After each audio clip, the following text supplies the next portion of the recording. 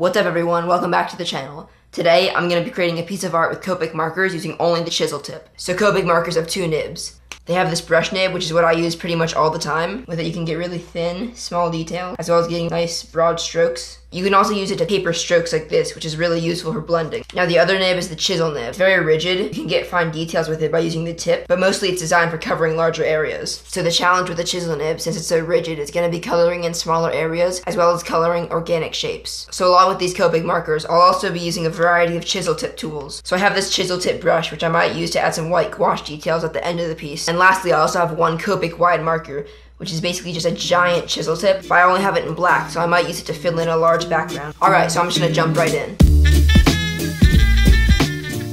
I started off with a sketch. So my idea for this piece was have this guy where he's kind of half man, half lizard, as if he's kind of turning into some sort of reptile. He would be lit as if he was holding a torch in his right hand, so the right side of his face would be lit by the fire with a lot of yellows and oranges, and the left side of his face would be in shadow. So with the sketch done, I move on to transferring to my final marker paper.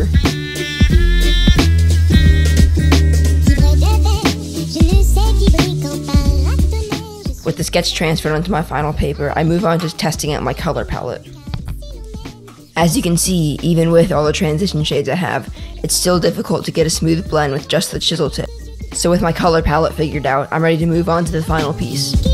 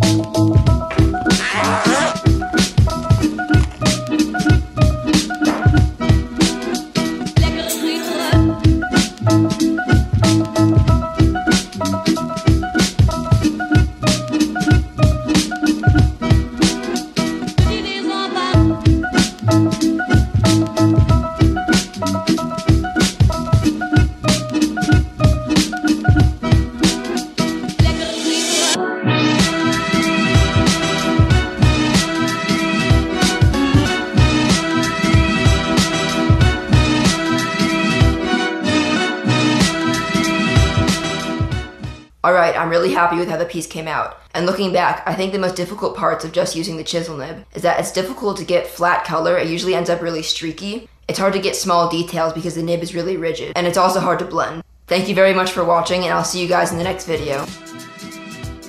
Hey, so you made it to the end of the video. So I'll let you in on a little secret. No, it's just that I accidentally used the brush nib twice while making this piece. Oh crap accidentally just used the brush tip.